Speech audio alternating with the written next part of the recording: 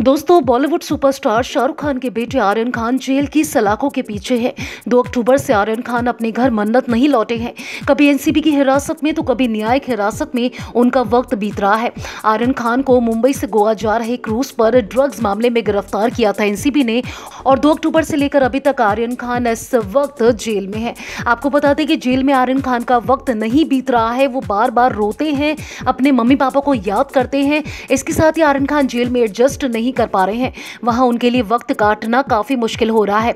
वहीं रिपोर्ट्स आ रही हैं कि जेल में आर्यन खान किताबें पढ़कर अपना टाइम काट रहे हैं। ऑर्थर रोड जेल के अधिकारियों के मुताबिक आर्यन खान जेल में किताबें पढ़ रहे हैं। इनमें धार्मिक किताब भी शामिल है।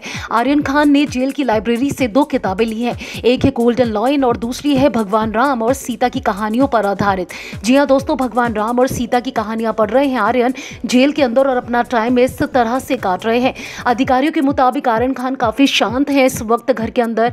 वो किसी से बात नहीं करते हैं इसके साथ ही। हाइजीन इशू के चलते वो वहाँ का बाथरूम भी यूज़ नहीं कर पा रहे हैं। रिपोर्ट्स की माने तो आर्यन खान इस वक्त जेल में एडजस्ट नहीं कर पा रहे हैं, इसलिए कैसे न कैसे वो अपना वक्त काटने की कोशिश कर रहे हैं। आपको बता दें कि आर्यन खान की अगली सुनवाई छब्बीस अक्टूबर को होनी है।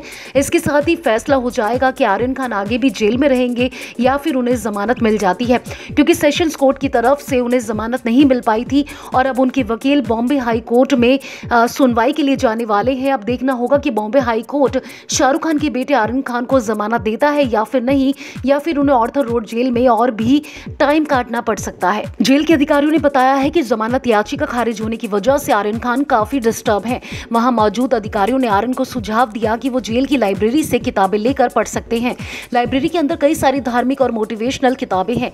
जेल अधिकारियों और कैदियों के पास ये किताबें होती हैं।